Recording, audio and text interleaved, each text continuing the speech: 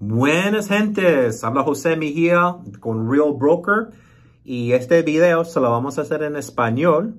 Y si por cualquier cosa, una palabra que no me lo entienden, se lo voy a decir en inglés. Y maybe en el futuro me pueden mandar un mensaje y lo podemos comunicar. Ok, ahorita en este video lo que vamos a hacer es vamos a hablar de el plan que ofrece Real Broker a los agentes de bienes raíces. Ahora, Ahí va a haber otro diferente video para los, eh, los agentes de bienes raíces que están en un equipo. Si usted es un líder en su ah, equipo, hay diferentes planes de comisiones para los agentes que están en su equipo. So, este video va a ser simplemente para los agentes que vienen sin equipos. ¿Ok? Ok. Ahora, la primera cosa que lo quiero explicar el split, el comisión split de Real Broker son 85% y 15%. 85% es para el agente de bienes raíces, el realtor, que va a recibir de su comisión. El 15% va a ir directamente al real broker. So, tomamos un ejemplo. Un cheque de comisión de 10 mil dólares 8.500 lo va a recibir el realtor y 15% va a ir a la compañía de Real Broker. ¿Ok? Estamos bien entendidos en esa parte, ¿ok? Ahora, la segunda cosa. Usted simplemente va a pagar esta comisión, este split, hasta que llega a los 12 mil dólares de cap. El cap significa lo siguiente.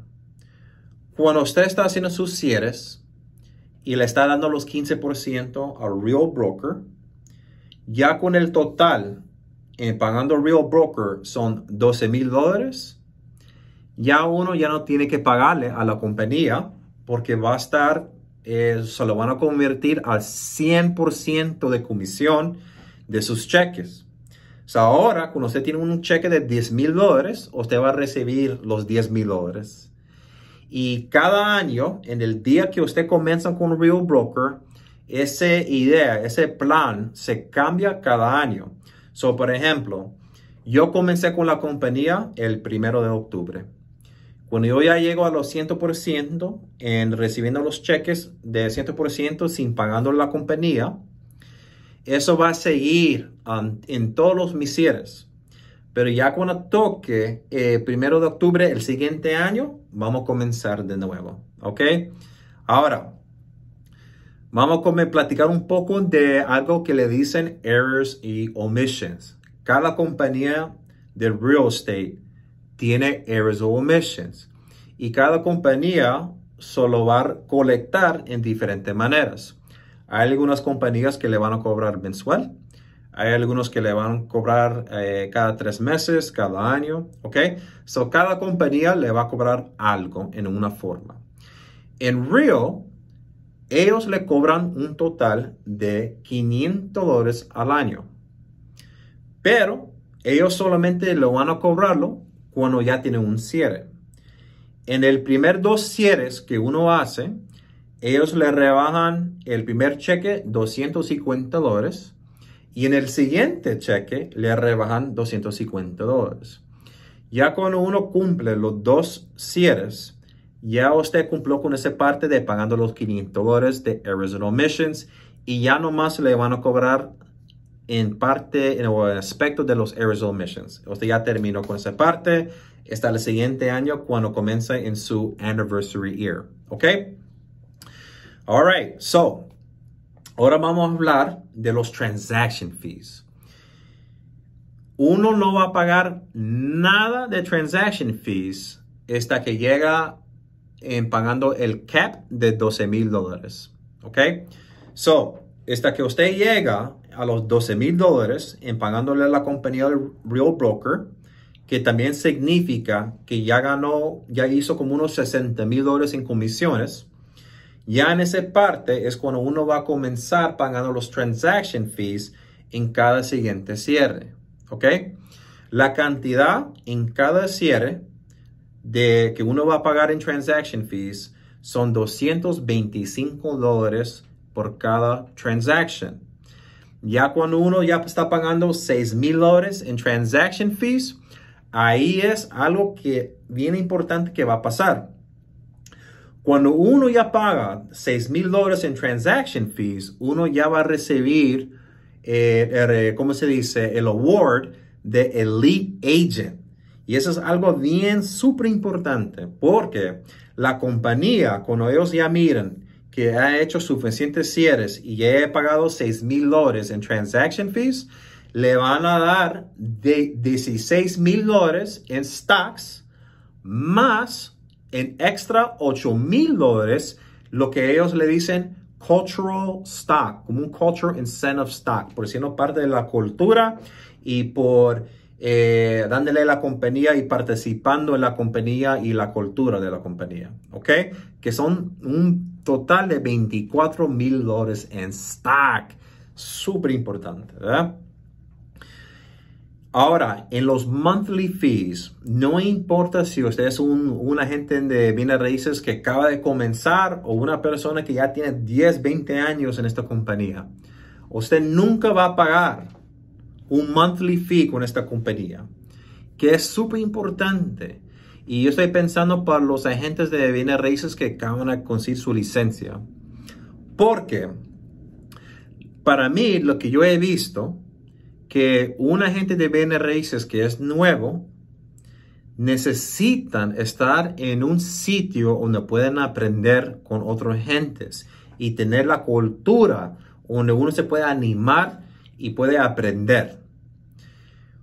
Cuando uno no tiene los monthly fees, uno puede saber que no tiene ese gasto y pues maybe uno puede poner el gasto en pagando por un desk en una oficina donde uno se puede estar alrededor de otros realtors que están, ya tiene, que ya tienen años de experiencia. ¿Ok? So, ese solamente es un ejemplo, no es que lo tiene que hacerlo. Lo cosa más principal es que ustedes sepan que no tiene que pagar nada de monthly fees, ¿ok? Y la última es el rev share. El rev share es algo bien importante que hay muchas compañías que ahora están ofreciendo solamente para estar en competición con las demás compañías que están comenzando ofreciendo igual. Eh, el rev share, eso se lo vamos a platicar más en detalles en otro video para que sepan cómo es el pensamiento del real broker con esta parte del negocio.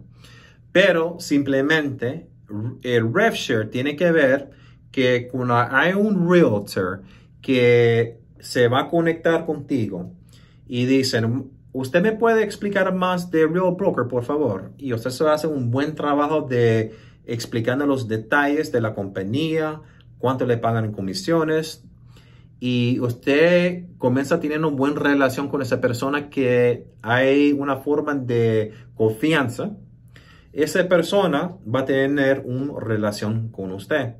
Y si usted va a traer a esta persona a la compañía de Real Broker, usted va a ganar un cheque por cada cierre que esa persona va a hacer. Y esto es algo bien importante porque aquí los realtors de Texas a California, de Minnesota a Florida hasta Nueva York. En todos los estados que está Real Broker, no hay ninguna persona que le pueda ofrecer algo más a esa persona solamente por eh, la intención de trayéndolo a la compañía y la persona siendo el sponsor de esa persona. Eso está protegido aquí en Real Broker. Aquí tiene que ver todo con la relación con las gentes y con confianza. So, no importa si es un agente de bienes raíces que acaba de comenzar o si es una persona que ya tiene 20 años en este negocio. Los dos son iguales y los dos, si tienen buenas relaciones con los agentes, no pueden ofrecer nada más, simplemente ofrecer a la persona que están interesados en entendiendo qué es la compañía de Real Broker, la experiencia que uno está teniendo con esta compañía y hablando algo bueno de la compañía para que otros gentes puedan tener la misma experiencia. Ese es el forma y el pensamiento de Real Broker que cuando tiene que ver con la plática o la tema de, de revenue share. ¿Ok? Ahora, Espero que me entendieron bien con el español y eh, síguele el, el, YouTube channel donde me está mirando este video porque yo voy a tratar de hacer otros videos en español para que se lo pueda explicarle lo demás, otros detalles de Real Broker para que ustedes puedan eh, elegir si es algo para ustedes o no, ¿ok? Déjenme un mensaje por favor y por cualquier duda que tenga me avisa y yo con, todo gusto lo puedo ayudar, ¿ok?